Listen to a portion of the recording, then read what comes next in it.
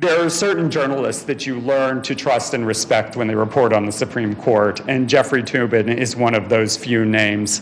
Uh, Jeffrey graduated uh, magna cum laude from Harvard and from Harvard Law School. He was editor of the Harvard Law Journal. Um, as you saw in the clip that we watched earlier, he had some involvement with the O.J. Simpson trial. Uh, he also had involvement with uh, Iran Contra and was a U.S. Uh, attorney for Brooklyn. Assistant U.S. Attorney. Assistant U.S. Attorney for Brooklyn. So, uh, without further ado, and to get this program underway, Jeffrey Toobin. Thank you so much. Thank you all, and what a treat to be here. Now, I, I, I, promise I will talk about the Supreme Court, but I hope you know I have a Google history as well. That um, earlier this year, I guess it was this year, I went out to Mountain View and I did a piece about Google Books. And uh, anyone here work on Google Books? Have anything to do with Google Books? Uh, all right, good. Uh, anyway, it, it is so interesting how obsessed people are with Google. You know, I write about legal subjects all the time. I have never had a reaction to a story like I had about that. I, I you know, I, I'm, I am a Supreme Court nerd, and so I know the Supreme Court blogs. I, I, all these blogs that I didn't even know existed about Google that I'm sure you all know about. You know, I was the subject of debate, and um, it was really I had so much fun uh, doing that story because it was so different from what I usually write about. And frankly, it was so great to be uh, at Google. You know, I usually I did the typical you know Google thing. You know, as soon as you get there, you drink like seven free smoothies, and and you know, but you know, you just, I've, now that I'm here, I learned that you know you don't have to inhale all the free food all the time. Um, but you know, I, I just think you, you folks are very fortunate to, to work at this company that is so much um, at the cutting edge of um, how things are changing in the world, and it is it, it was just a, such a pleasure to meet with uh, your colleagues out there who are uniformly incredibly intelligent and uh, full of excitement and ideas about, uh, about Google Books, which is a wonderful product that may actually be completely illegal. Uh, but uh, that's what made it interesting. No, I don't, I don't think it's completely illegal, but anyway. Um, so, yes, uh, but I am here to, I, Annie, you want to talk about Google Books? I'd be happy to do that, but I, am here to talk about uh, The Nine, my book. And um, it, it's really been wonderful to write about the court because you know, everyone has some idea of how important the court is, but people are sort of vague about who the justices are, what they really do, and uh, why their work is significant. And you know, that applies even to the justices themselves who are aware that the court is uh, a, a, subject of some mystery. For, I'll give you an example. David Souter and Stephen Breyer are often mistaken for one another. Now, if you know what they look like, they don't really look much alike. They're both kind of, you know, upper middle aged white guys, but they are not really very similar. But, you know, they, they are mistaken for each other. And once, not too long ago, Justice uh, Souter, who, as he often does, was driving from Washington to his home in New Hampshire, he stopped to get something to eat in Massachusetts. And he was sitting there, and a couple came up to him, and the man said, You're on the Supreme Court, aren't you? And he nodded and he said, he said You're Stephen Breyer, right? And the guy said, Well, and, and, and Justice Souter said, he didn't want to embarrass him in front of his wife, so he said, Yes, I, am I'm, I'm Stephen Breyer. and so they chatted for a little while. And then um, the fellow asked Souter a question he didn't expect. He said, So, Justice Breyer, what's the best thing about being on the Supreme Court? And he thought for a minute and he said, It's the privilege of serving with David Souter. Uh, it's a true story. Now, uh, I, I, wish I could tell you it's only civilians who make these mistakes. I, um, you know, I'm an alleged Supreme Court expert, and if you recall, when President Bush was inaugurated for his second term, it was the first time that Chief Justice Rehnquist appeared in public for a long time. He had, he had been diagnosed with cancer, he hadn't been in court, so there was a lot of drama over how he would look. So CNN decided to send me down to, to be at the inauguration and talk about how the chief looked and, and so, so the moment came and you know the, the justices all walked down on the capitol steps and wolf blitzer who was anchoring said so jeff how does chief justice rehnquist look? And i sort of looked at him you know, 100 yards away and i said oh it looks okay to me wolf. And you know the coverage went on. And then about 30 seconds later, I realized I had been looking at Anthony Kennedy. Uh, so I realized in Washington the cover up is always worse than the crime. So I waved my arms. I said, Wolf, I made a mistake. That was Anthony Kennedy, not, not Chief Justice Rehnquist. And uh, I, I, just tell that story to illustrate that even those of us who know about the court sometimes uh, don't know exactly what they look like. But the real reason I wrote the book is that the court is at a tremendous turning point. The court, um, I think, and to recognize what kind of turning point it is, you have to go back to the 60s. Because the, last, the 60s was the last time the Supreme Court was a unified ideological group. That, that the 60s were a time when the court was a very liberal institution. You really had seven liberals on the court at one point. And then something extraordinary happened. In the space of 19 months, four justices left. And Richard Nixon, who wasn't president for very long, he was only president for five and a half years. You remember there was some unpleasantness and he had to leave early.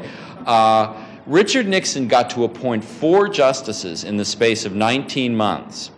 And a lot of people thought that would shift the court way to the right. But in fact, it didn't. And starting from 1972, with the appointment of Lewis Powell, who was really kind of the center of the court for a long time, from 1972 until 2005, 33 years, the court had a swing vote. You know, the court was evenly divided, and from 1972 until 1987, it was Lewis Powell, and then Powell left. And at that point, it was Sandra Day O'Connor.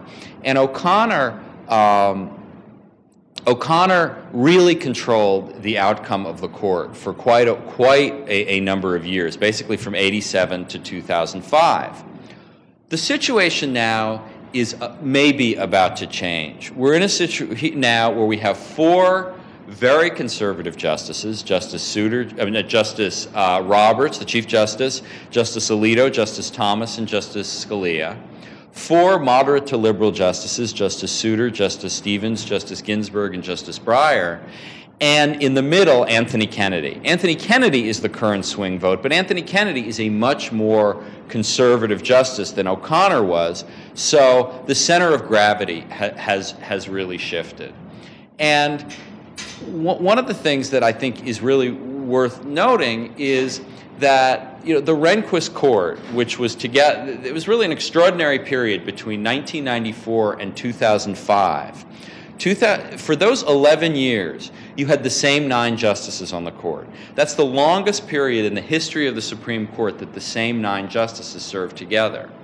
And a couple of facts about the Rehnquist Court that people don't really know. The one is the justices got along with each other very well.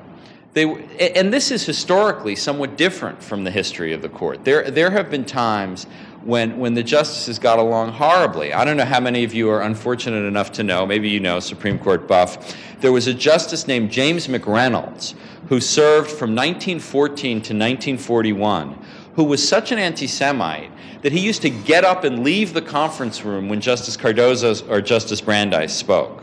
I mean, that's how horrible the relations were.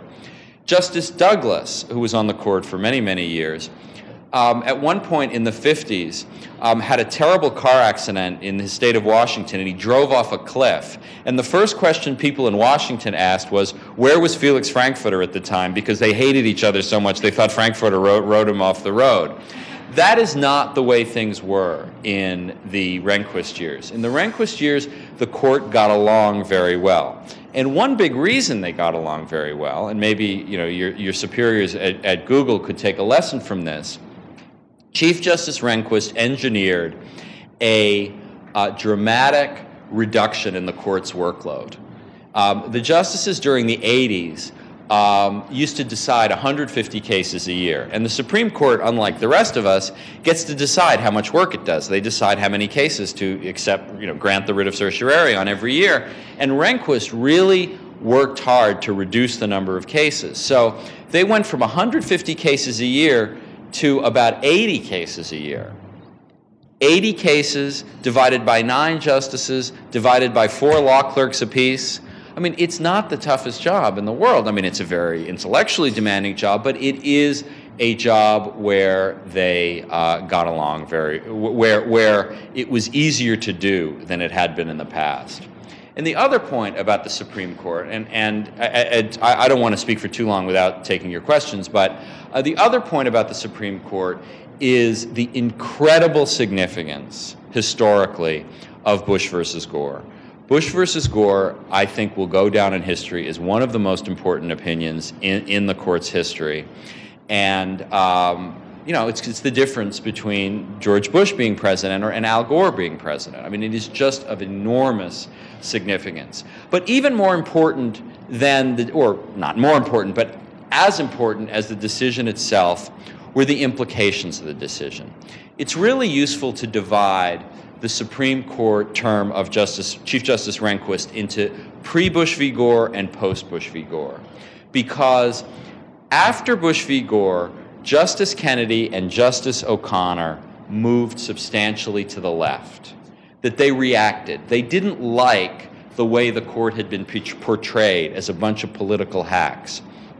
Justice Kennedy, interestingly, became particularly interested, even obsessed, with international travel. Just weird how the quirks of the justices have significance.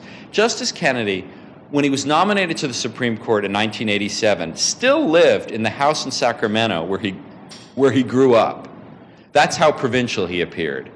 But once he got on the court, he started traveling around the world, spending a great deal of time with judges from other countries. And he was influenced by those judges from other countries, particularly on the issues where the United States is out of step with, especially Europe, the death penalty. All those countries have banned the death penalty, and gay rights. And he moved to the left on those issues. But the even more dramatic change took place with Justice O'Connor. Justice O'Connor, I think, is really one of the large figures in American history, just an enor- a woman of enormous importance. I say in the book, and I defy anyone to disagree with me, that she's the most important woman in American history in terms of her influence.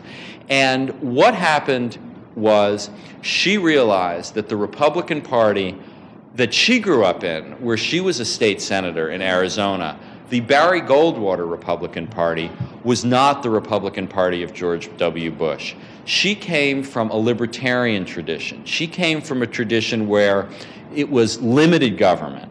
And she saw that George W. Bush was not only different from his father, but different from her idea of what the Supreme Court, uh, what, what conservatism ought to be.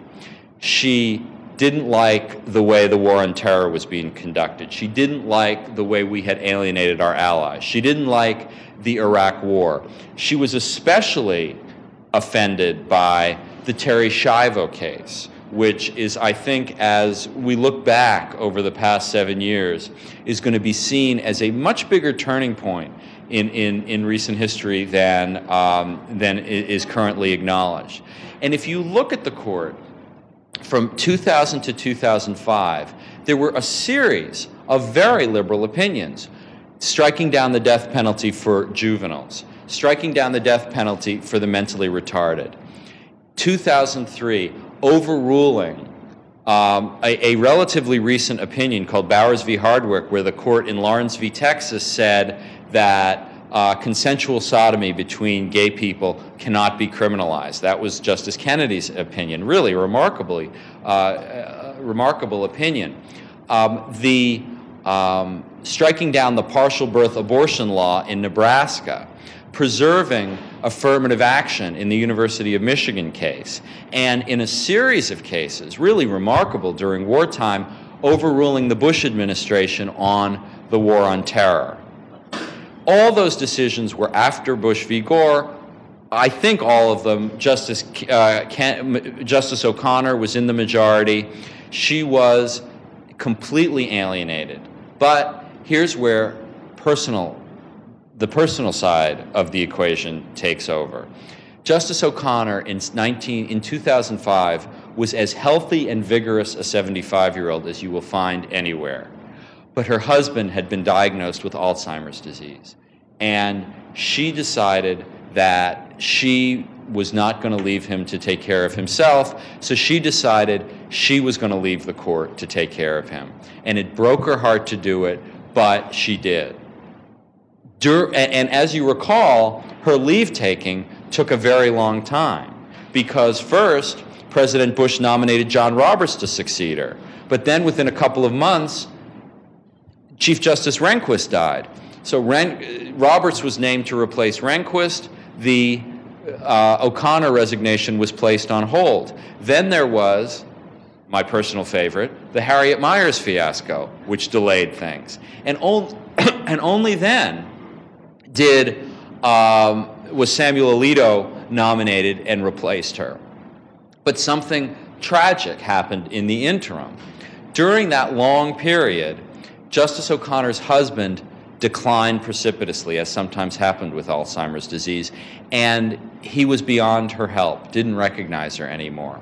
So Justice O'Connor was faced within a space of months with the loss of both her seat on the Supreme Court to a president she had come to disdain and the loss of her beloved husband. And, you know, it, it, it is a sad postscript to a remarkable career uh, by Justice O'Connor, but an illustration of how the personal and the political sometimes merge on the court. Before I take your questions, let me just call your attention to the last term at, at the court, you know, the, the term that just ended in, in June.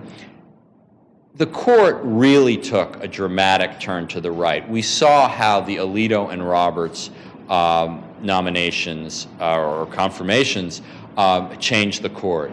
You know, we saw in the school desegregation cases really the beginning of the end of affirmative action. The, the idea that the government can no longer use race at all as a criterion for picking anybody for anything.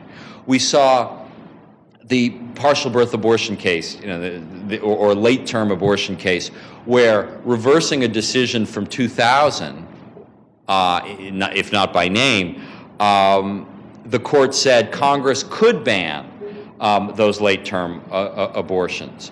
Uh, we saw um, you know, a series of cases where on the death penalty, on, uh, on, on separation of church and state, the court is moving to the right.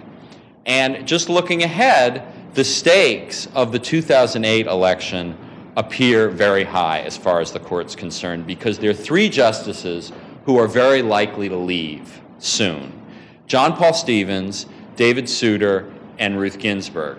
Justice Stevens is 87 years old. Now, I caution you to say that Justice Stevens' older brother, Bill Stevens, at age 90 is still practicing law in Florida, but, you know, 87 is 87. Justice Ginsburg is 76, Justice Souter is 70, not very happy on the court.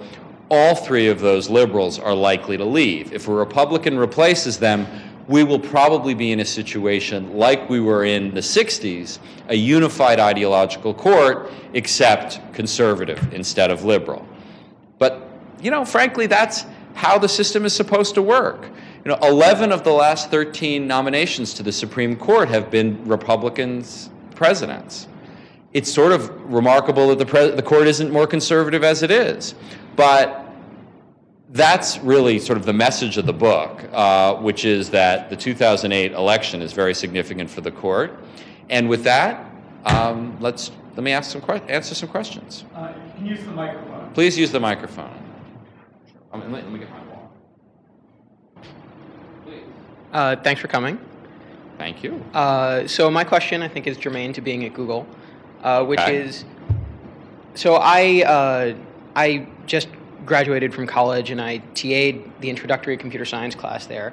And one of the things I noticed was that technology, even for really smart people, is not that learnable of a subject all the time.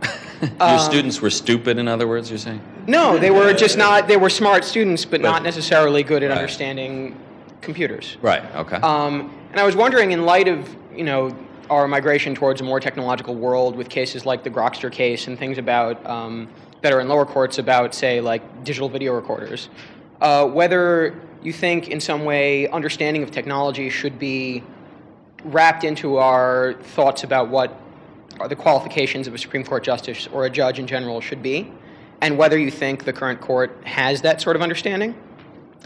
You know that is a, that is a really great question, and um, I, I, I think you know it's interesting. In 2000, when I was writing about Bush v. Gore, um, I, I learned from from some of the law clerks that in the entire United States Supreme Court there was one internet connection.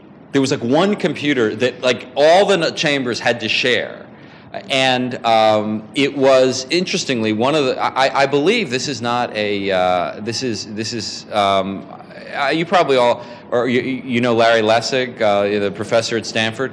Um, he, I believe, was clerking at the time, and he made a presentation. Or no, this was a little earlier than 2000. He made a presentation to Justice O'Connor about the internet and how it could help the law clerks do their work. And typical of O'Connor she said, okay, we're going to do this tomorrow. And, and she got the place wired like practically overnight. So, you know, the court does change. But I mean, it's interesting that you mentioned the Grokster case because that I think is, is one of the, is a case that I write some about in the court, in the book. But that case was written by David Souter. Let me just tell you a little about David Souter. David Souter is a figure out of the 19th century. David Souter does not have a television, does not have a television, does not have a uh, computer, uses a fountain pen to write. He does not like electric light. In his chambers, he moves his chair to catch the sunlight around to read over the course of the day. When he arrived at the court, he had never heard of Diet Coke.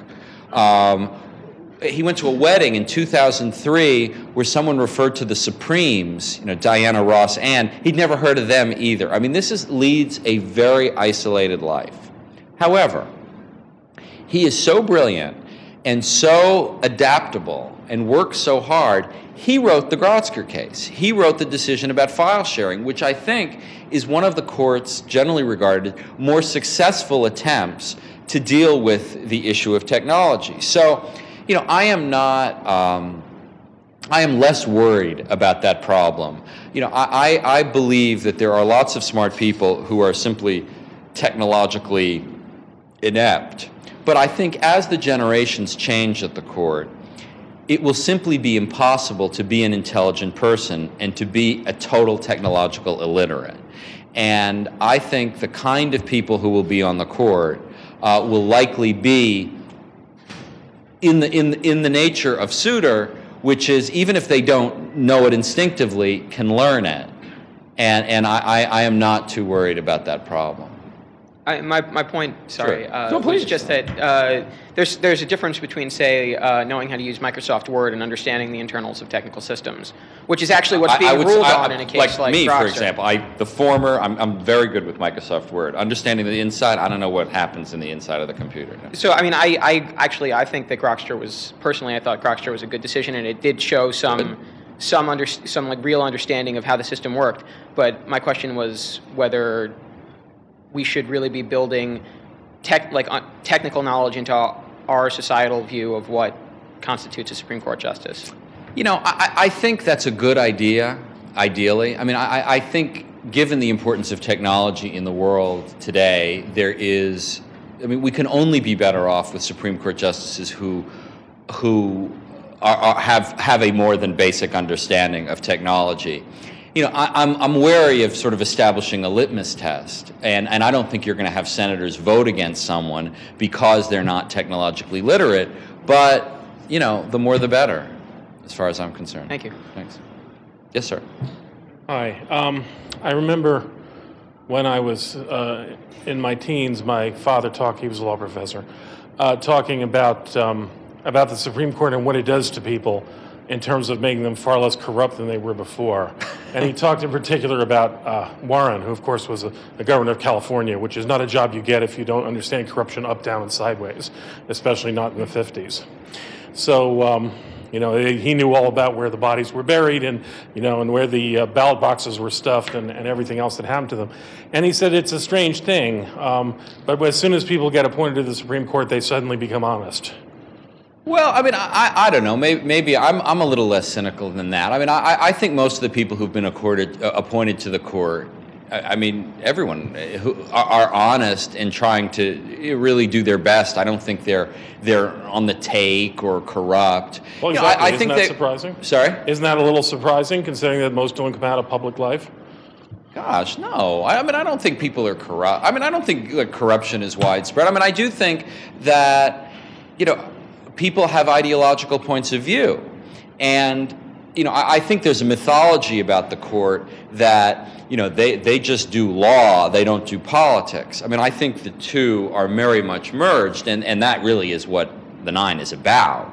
And certainly, if you look at a case like uh, Bush v. Gore, which I think is a very low point in the history of the court, and I think a rather cynical endeavor by the court, I wouldn't describe it as corrupt. I would simply say it's more partisan. And you know, maybe I'm just you know slicing enough, yeah. slicing the bologna a little thin here, but I mean, I, I, I think it's I, I- I think there's a difference.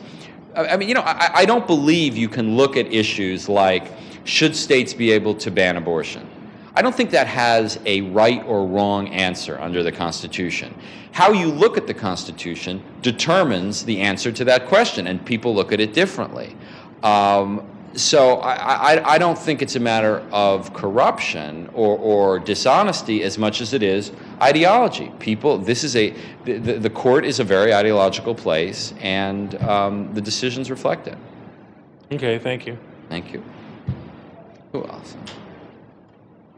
So I remember um, in the Bork hearings, everybody that I was talking with was talking about them all the time and getting very passionately involved in discussing the Constitution and all the rest of it. And it really was was a widespread conversational topic. And then Roberts and Alito, nothing like that. Do you think that's um, society changing between that, or do you think that's like Republican tactics getting better at choosing the right persons to put out? I think it's a combination of things. It's a, I mean, it's a very good question. I mean, the Demo- also you have to look at the uh, political setting that, that, of the time. The Bork hearing took place in 1987 when a Republican senator nominated a very conservative justice in a Senate that was controlled by Democrats. So from the day Bork was nominated, it was clear that the Democrats had a chance of defeating him. The Roberts and Alito nominations took place before 2006 when, when the Republicans controlled the Senate. And there was not, I mean, outside of a filibuster, which is very hard to sustain uh, against a Supreme Court nomination, there really wasn't much chance to stop those, those nominations. So, you know, I, I think the horse race plays a part as well, which is that, you know, we, we in the press get hyped up about issues where the outcome is in doubt.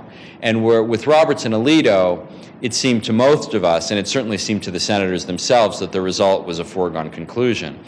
But also, I mean, you had to look at the, the setting as well. Uh, Robert Bork was nominated to fill the seat left by Lewis Powell, who was the swing vote you know, the, the, the fate of, of, of Roe versus Wade very much appeared to be hanging in the balance in the Bork hearings. And I think it was. And Kennedy wound up voting to support Roe, where Go, uh, Dole, um, Dole, Bork um, certainly would not have. So I think all those factors played into it. But you know, in the right circumstances, I think a Supreme Court nomination hearing could be still the stuff of high drama.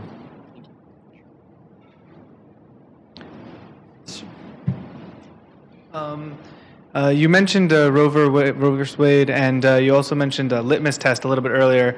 And I was wondering um, what you thought about uh, how the, at least for Democratic presidents, uh, that's kind of like a, a defining factor in how they uh, choose a justice to appoint to the court.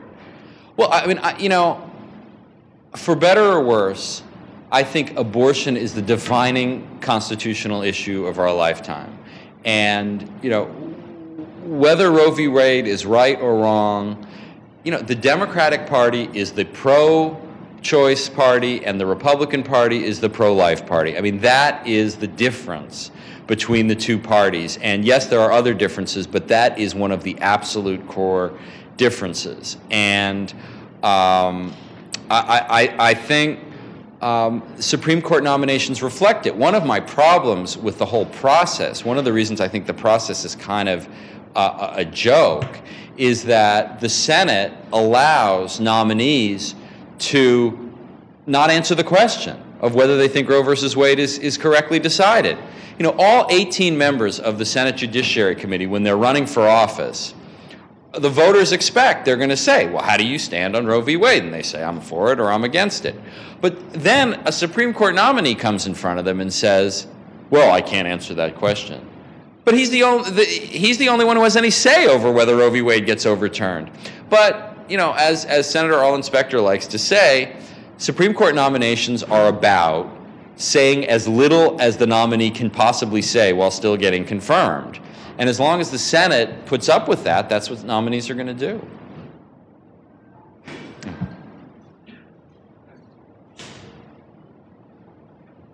I think one of the really intriguing things about the, the Supreme Court is that, you know, you've got these personalities. You don't really see them out in the public eye very much. Um, you know, apparently Scalia is a great guy to hang out with.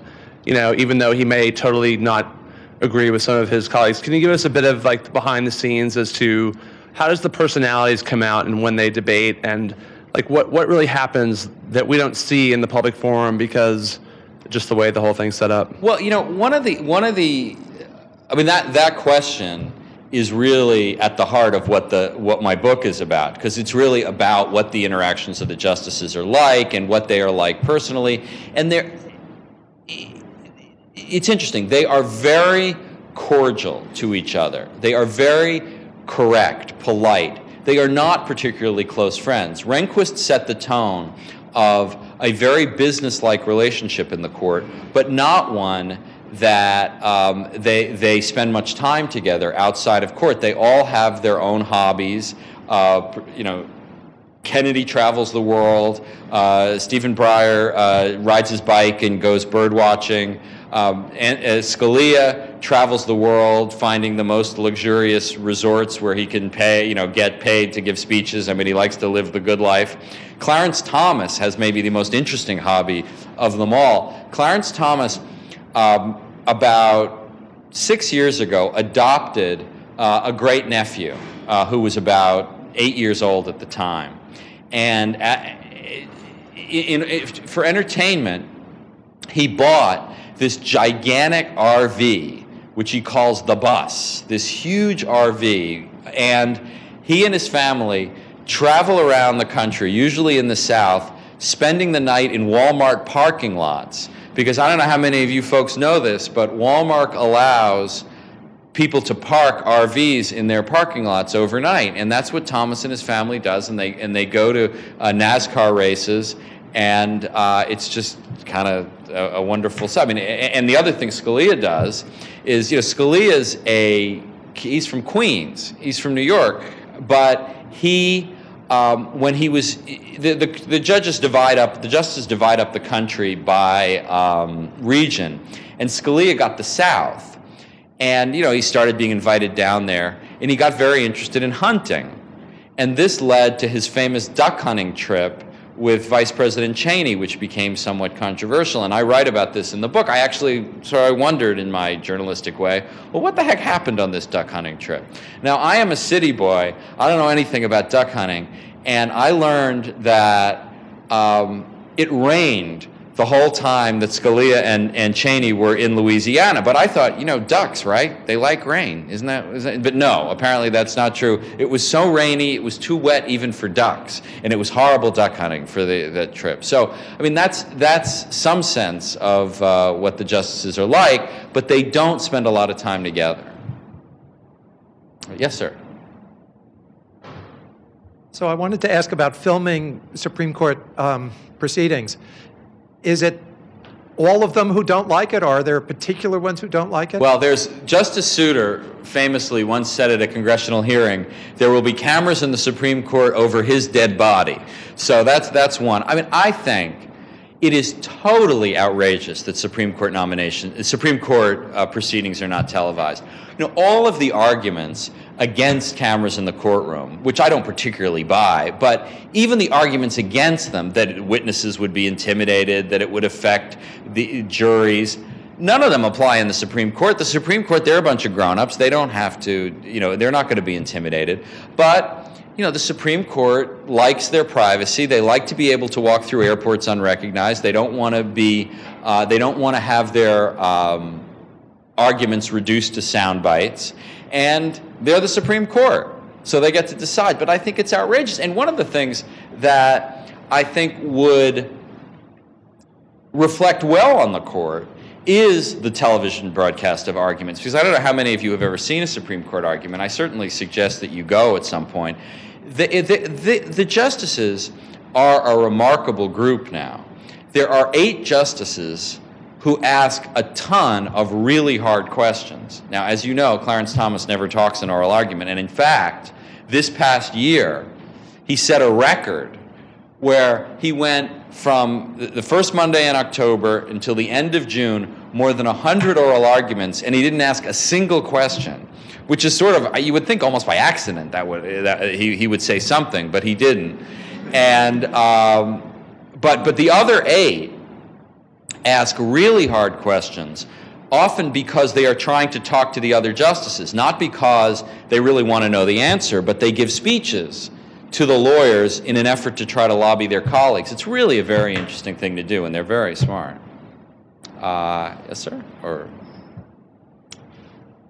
You mentioned them being very smart, and there are all these other characteristics that they get raked over the coals when they're being nominated and so forth. But in your opinion, what characteristics really make for the most successful justices? Wow, what a great question. Um, what characteristics make for the best justices? I mean, obviously, just sheer intelligence is very important. I mean, this this is a court that you know the, the work product is written opinions, and you have to write good ones.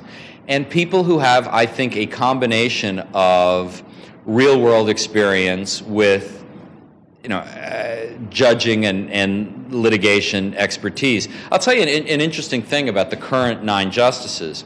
This is the first time in the history of the Supreme Court that all nine justices were judges previously. That's never happened before. The, the court that decided Brown v. Board of Education in 1954, not one of those judges had ever been a judge before. You know, Earl Warren was governor of California, as was mentioned. I mean, and, and, I think the court is out of whack in that respect. I think it would be better if they had a broader range of experiences, and I think that, that goes to the technology issue as well. Here's a prediction for you, for what it's worth. Um, if Hillary Clinton is elected president, and obviously that's not a sure thing, but it's not out of the question, I think her first appointment to the court will be Barack Obama. Uh, no, I'm not kidding. I think I think that's uh, you know he's a guy, a, a brilliant guy, president of the Harvard Law Review, constitutional law professor, uh, African American. He's only 48. He will be only 48 years old, so he'll be able to serve a long time. And in the perfect Clinton political calculus, it'll get him out of the way. So uh, I, I think I you know you heard it here first. Uh, yes, sir. Yeah, I wonder if you could talk a bit about sort of the future of of the institution or the way we perceive it. Um, you know, I reflect back when I was a kid, for things like the presidency. Everybody had great respect for the president, even when you hated hated what he was doing or thought he was, you know, totally wrong in what he was doing. And then, of course, we had Nixon and Watergate, and it's been downhill ever since. Uh, God knows if the presidency will ever become a respected office again. Um, we had sort of similar things. What with the military, they took a real bite in Vietnam. There was My Lai, but basically got over that. Now Abu Ghraib, uh, and what we're doing in Iraq. I don't know if they're ever gonna, if we're ever gonna be able to look to the military with the same kind of respect we did in the past. The court was just this one really special sort of totally pure operation. Uh, there were a couple bad guys every once in a while, but everybody knew that and then the Gore case came in. Can the court ever recover from, uh, well, we heard here an earlier comment here, you saw it, uh, sort of the way the court was being spoken about by one of the earlier questioners. Can the court ever recover from the Gore case? And if so, what do you think it'll take? Well, you know, I, I, this was your question was of great concern to the justices themselves. I mean, they came away from Bush v. Gore rather shell shocked and, and disturbed about the place of the court in public life. And I think that worry was one factor that pushed Kennedy and O'Connor to the left after Bush v. Gore because I think they wanted to sort of even out. I, I, I don't want to put it too cynically, but wanted to even out uh, the score a little bit. I'm a little more optimistic, perhaps, than, than your question reflects you are. I, I think the court is still held in rather high esteem by most people. Certainly, public opinion polls um, show great respect for the poll. A lot of liberals, a lot of Democrats were very upset by Bush v. Gore. They will never um, forgive the court. But I think the fact that uh, the court, you know, that some decisions, at least in subsequent years, went in another way, um, you know, bound up some wounds.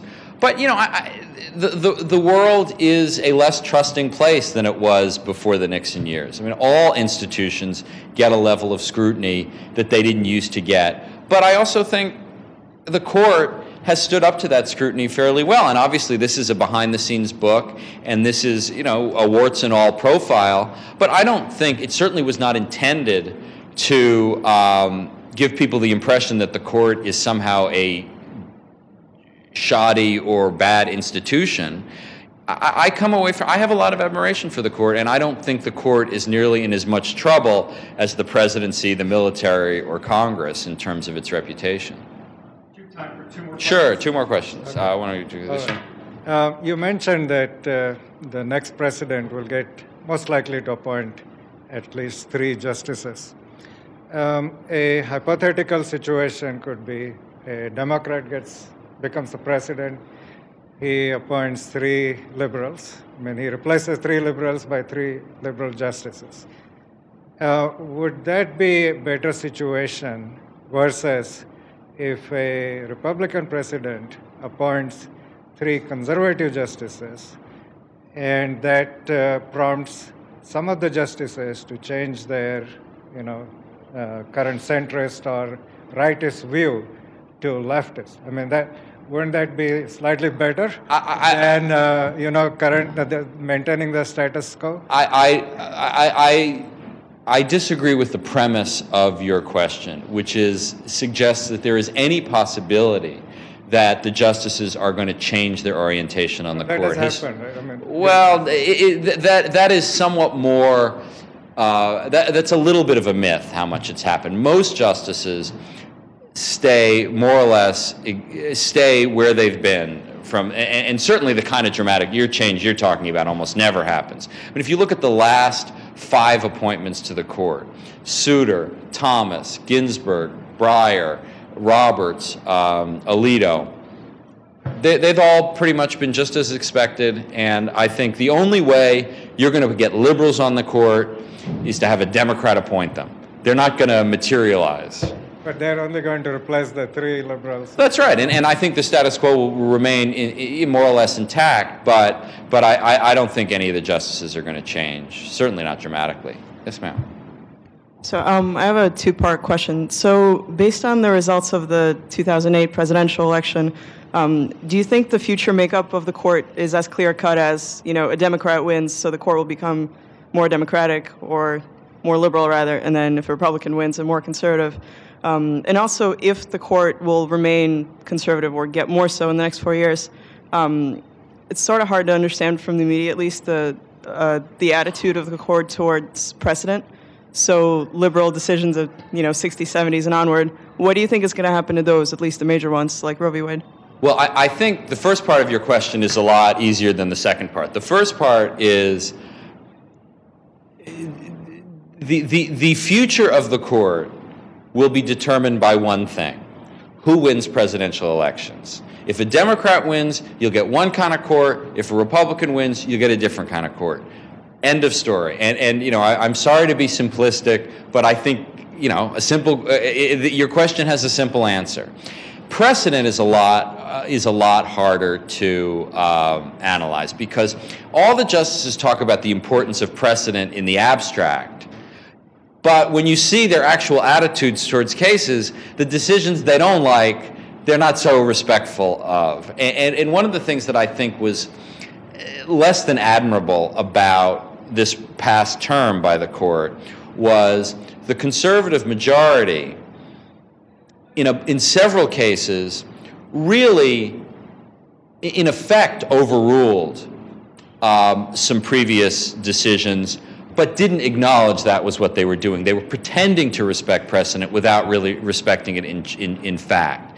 And, you know, I prefer a more intellectually honest uh, approach to that, but, you know, we'll see.